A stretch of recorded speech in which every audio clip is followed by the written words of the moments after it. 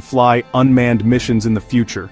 It's designed to operate as part of a network communicating with fighters, drones, satellites, and ground forces.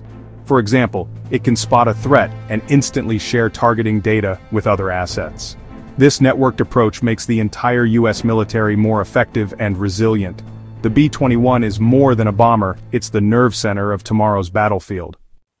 The B-21 Raider is set to redefine American defense and global air power.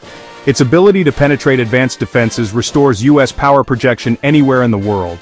The B-21's open architecture allows rapid upgrades, keeping it at the cutting edge.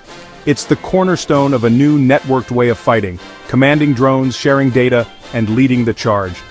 This is joint all-domain command and control, connecting every sensor and shooter into one powerful network.